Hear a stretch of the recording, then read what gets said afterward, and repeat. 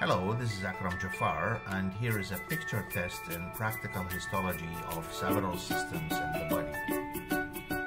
You may use the video as a revision for the topic or as a self-assessment tool. For the purpose of self-assessment, pause the video at the beginning of each slide and take your time in reading the question and coming up with the answer. Then replay the video to confirm your answer and listen to further comments and explanations. Identify the darkly stained line that is very close to the lumen of the structure that occupies the center of this image. So from all this description, we are required to identify this. So what do you say? Are they endothelial cells? Endothelial cells are seen or are located here, but they don't produce the, the dark line. These dark line is because of the presence of fibers. So it's not endothelial cells. Smooth muscle, uh, these are the smooth muscles here. So it's not smooth muscle. Is it the tunica intima? Well, it is part of tunica intima, but not the whole tunica intima. It is the internal elastic lamina. And this is a feature of what?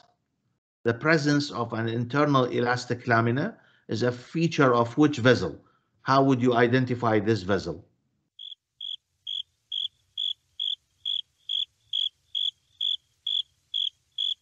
In other words, is it an artery? Is the muscular artery, elastic artery, vein, or an arteriole?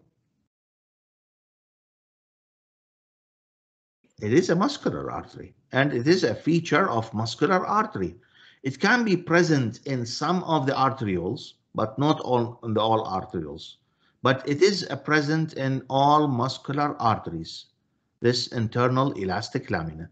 The elastic arteries, they will have elastic uh, plates or plates of elastic fibers throughout the thickness of the tunica media. And so we will not get a segregation between internal elastic lamina and external elastic lamina. They are all elastic laminae.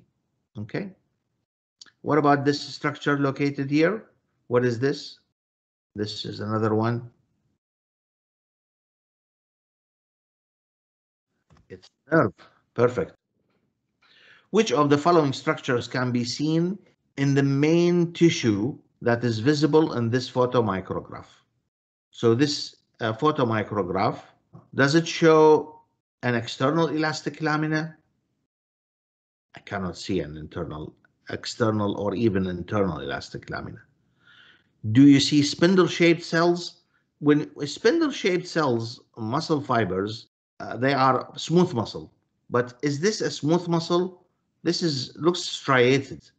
It's a muscle, but looks like striated muscle. It's not smooth muscle. It is cylindrical, not only cylindrical, but also uh, it is branched as well so not spindle shaped. Are these Purkinje fibers? Purkinje fibers are modified cardiac muscle fibers. They will look like uh, white, uh, bigger, and the cytoplasm is lighter because it doesn't have a lot of organelles. So especially in the perinuclear region, you will find it empty, the perinuclear region. Now, the striking feature that I can see here are these these are the intercalated discs. And this is a, a striking feature of the myocardium. So intercalated disc can be easily seen. What are the intercalated discs? What do they represent? Rough endoplasmic reticulum, smooth endoplasmic reticulum, synaptic contacts, junctional complexes. Yes, junctional complexes. And what type of specific type of junction that would be seen here? Uh, gap junctions, uh, gap junctions, so that the muscle fibers, the cardiac muscle fibers, they contract as like a network because they are connected with each other through these gap junctions. There are desmosomes as well to prevent separation between cells during contractile activities. So desmosomes and gap junctions, That's why they are called junctional complexes. Which of the following histological sections represents the wall of the ascending aorta? So the ascending aorta is which type of an artery? It is an elastic artery, isn't that right? So, is it number two? This is a special stain showing elastic fibers only. In number two, I can see the internal elastic lamina and external elastic lamina. There are few elastic muscle fibers here and there in the tunica media, but most of the tunica media is not taking the stain because it has smooth muscle fibers. This is a muscular artery, which is not the type of the ascending aorta or arch of the aorta or descending aorta or the brachiocephalic trunk, common carotid, uh, subclavian arteries. All these are elastic arteries. In the elastic artery, the tunica media is formed of multiple lamellae of elastic fibers so that to rebound during ventricular diastole, they will rebound, they will uh, undergo elastic recoil and will maintain a continuous stream of blood. So this one goes better, number one, goes better with an, an elastic artery. What about three? Is there any internal elastic lamina? External elastic lamina? Why does it look like this? It's a, although the whole vessel is shown, but the lumen is distorted because it's a vein. So this doesn't definitely doesn't go with the aorta. It's a vein. What are the other features that I can see here? There's no internal elastic lamina. The tunica externa is the thickest layer, while in an artery, the tunica media should be the thickest layer. So it's not an artery at all. So the correct answer here is one only. Which of the following best describes one and two? This is a section in the kidney you can see that this section is shows multiple tubules, but in addition to that, there is a glomerulus as well here. And the glomerulus is only shown in the cortex of the kidney. It's not shown in the medulla. So going back to the question, one is the distal convoluted tubule. Is one a distal convoluted tubule? Look at one and compare it with the, for example, this tubule. Look at the lining epithelial cells. They are clear. Look at the lumen. It is clear. The cells are lighter stained. The lumen is clear, which means that there are less microvilli here. And also, most of the profiles, look at them here, are of the dark stained profiles. So all of these are proximal convoluted tubule and one is a distal convoluted tubule. So distal convoluted tubule is correct. Two is the glomerulus. Well, okay, but the glomerulus is only confined to this. Let's check the other options. One is a proximal convoluted tubule. No, it is distal. One is a distal convoluted tubule. Okay. Two is the renal corpuscle. So what is the renal corpuscle? The renal corpuscle is the Bowman's capsule plus the glomerulus. And this is, uh, in, in fact, this is uh, a better description of two than in, Uh, in the previous description. Okay, so I would go with C. Let's go, let's look at D. One is the juxtaglomerular apparatus. No, juxtaglomerular apparatus doesn't look like that. And it is closely related to the Bowman's capsule because part of the apparatus is an afferent arteriole, which goes into the glomerulus. So definitely not D. And the correct answer is C. The histological section represents which circumscribed region on the prosected kidney. So this is a histological section on the left side, and you can see that this is the medulla. In fact, this is the papilla of the pyramid, renal papilla. And all these are collecting ducts. And the space here is therefore a minor calyx. If you magnify, you will find that the epithelium here is a transitional epithelium. So this is a minor calyx here, and the papilla is opening into it. And uh, look at the fa fatty tissue in the renal sinus. So which one of these rectangles is it D? D is a, a part of the cortex and medulla. Well, C, it shows the renal sinus, the fat, and shows part of the um, drainage system, but doesn't show the papilla. The only one that shows the papilla is B. You can see the papilla here, very clear. This is the renal papilla, which is similar to this one. So the correct answer is B, not A. A is uh, showing a cortex, and here I cannot see any glomerulus. These are all collecting ducts. Definitely this is a medulla. There is no glomerulus at all. Which of the lumens transmits urine? Let's start with 4. What is 4? The structure with a star-shaped lumen. Exactly. So 4 is correct. Let's see the others. What about 2? This is an artery. This is a muscular artery. I can see an internal elastic lamina, external elastic lamina, and the muscle in the tunica media.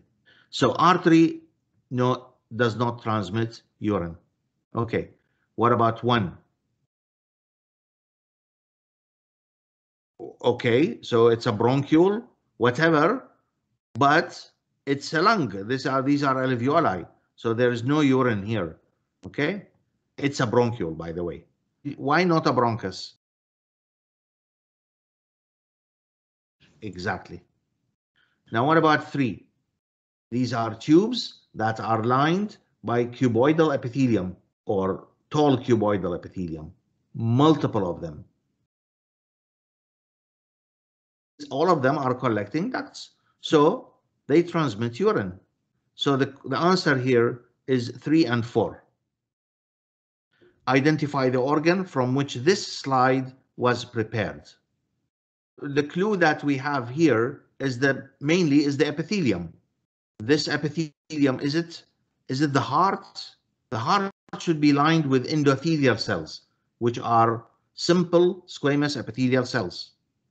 Okay, and I will find a lot of cardiac muscle fibers, which I cannot find here. Is it the trachea? The trachea is lined with pseudostratified columnar ciliated epithelium with goblet cells. There is no cilia. There are no goblet cells. And the epithelium is obviously, it is a stratified epithelium, not pseudostratified. So it's not a trachea. It is not a lung, uh, lung with alveoli or even with the, a bronchus or a bronchiole doesn't look like a lung. It's a urinary bladder. And obviously, the epithelium here, these are the umbrella-like cells of the transitional epithelium.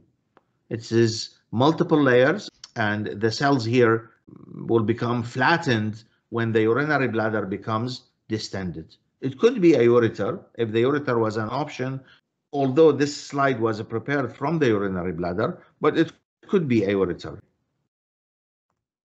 Identify the epithelium, now this is the this epithelium here. I can see the cilia, I can see the goblet cells, and I can see that there are nuclei at uh, different levels, but they are all, the cells are all lying on a basement membrane. So this is not a transitional epithelium. This is not a simple columnar with microvilli. These are not microvilli. And, well, they might look like a microvilli, okay, but it is not simple columnar. Simple columnar means that the nuclei, all of them are at one level, if it was simple columnar. These are at multiple levels, so it is not. Simple cuboidal, obviously, this is not cuboidal.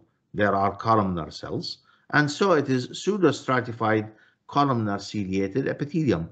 You expect to find it in the nasopharynx. Uh, you expect to find it in the lining of the nose, trachea, bronchus. It is a respiratory epithelium. Identify the structure indicated by the star. It's a bronchus. It is not a bronchiole because I can see cartilage, cartilage plates, multiple of them. See? It is not a trachea because, well, even if I would say that this might be because of the orientation of the section, but in a trachea, I will not be able to see the alveoli. These are the alveoli of the lung. So I am inside the lung. So it's not there. A trachea, it is not an alveolar sac. And the alveolar sac doesn't look like this. Okay. It is a, a bronchus. This could be a bronchiole here, not very clear. And this uh, structure could be a blood vessel, maybe a vein, but not very clear. Cells at which of the following locations produce the surfactant? B. Okay, so what is B? What is this structure? Yes, it is epithelium, but epithelium lining a lumen. The lumen of what? There are smooth muscle fibers here. There is a cartilage here. Uh, there are some lymphatic tissue here. So this is more, more, or this is another cartilage, is more with a bronchus. The surfactant is produced by what, what type of cells? Type 2 alveolar cells. So they should be present in the alveoli. Okay, so which one is the alveolus? Exactly. Okay, not A. A is again, it's a blood vessel. You can see blood uh, inside. Smooth muscle fibers are located here. So it's a blood vessel. It's not an alveolus. Alveolus will be will be empty. So all these are alveoli. I cannot say which one is type 2 alveolar cell, but the, the answer should go with D. It is in the wall of the alveolus that the surfactant is. Uh, what is the other function of type 2 alveolar cells? Perfect. Exactly. Yes.